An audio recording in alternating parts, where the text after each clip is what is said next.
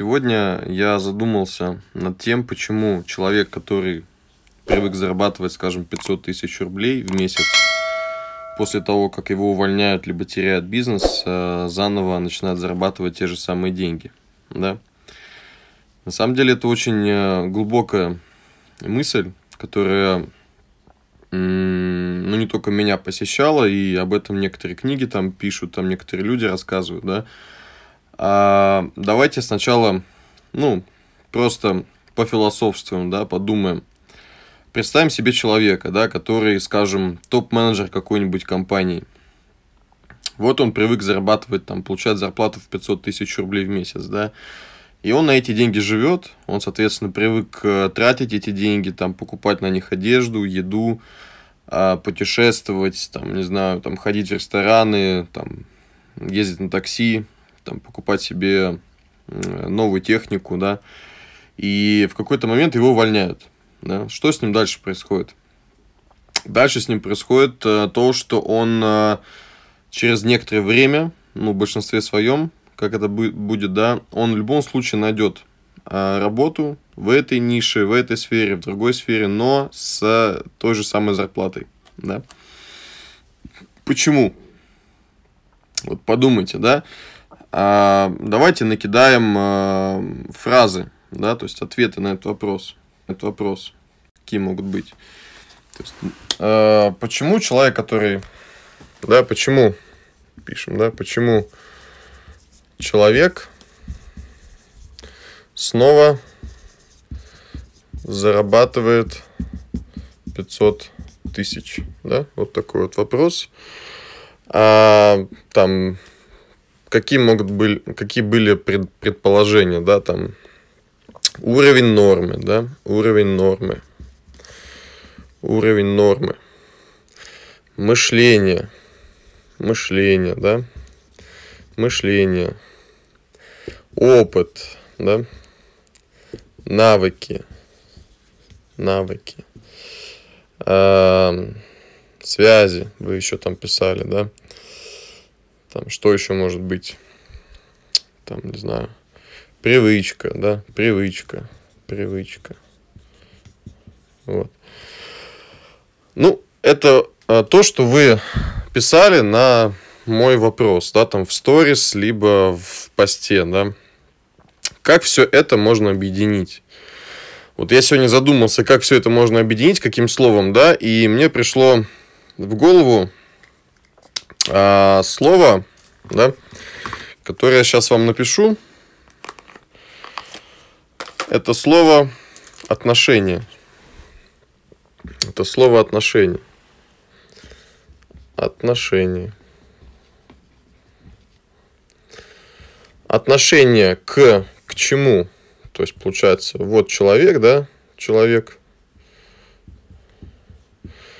А вот мир, да, окружающий его мир планетку такую вот нарисуем. Я не художник, ну, представим, что это планета, да. Получается отношение, отношение как к себе, так и к окружающему миру. Вот что скажете. То есть этим словом, в принципе, можно объединить и уровень нормы, и мышление, и опыт, и навыки, связи, и привычки. Почему?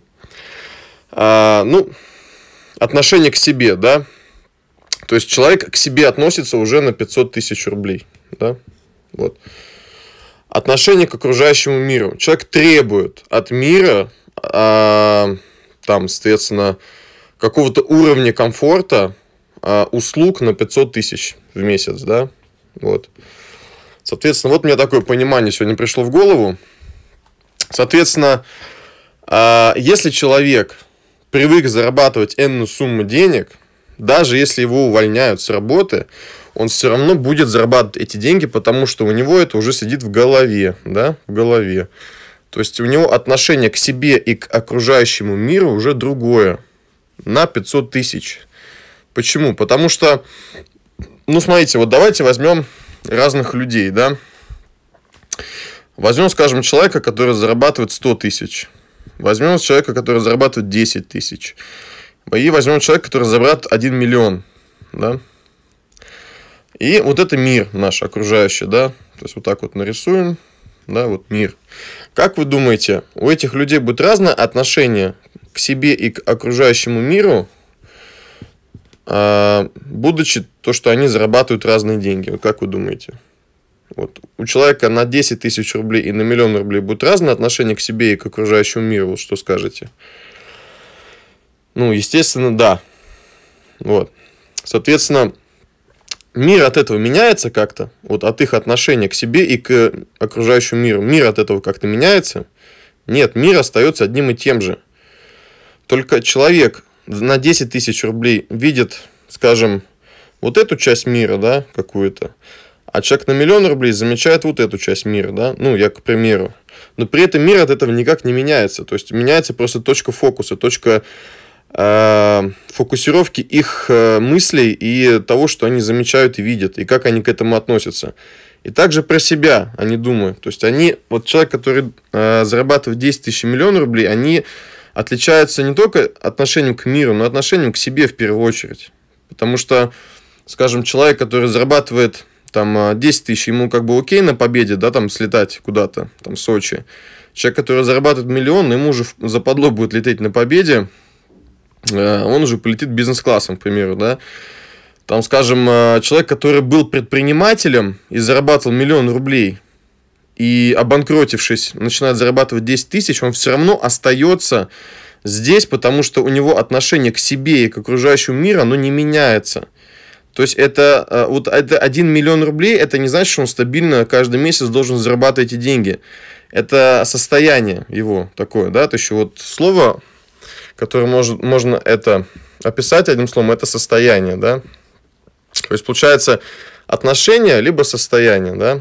Вот напишите, что вы думаете по этому поводу а в комментариях к этому видео. Мне будет интересно подискутировать с вами на эту тему. Спасибо.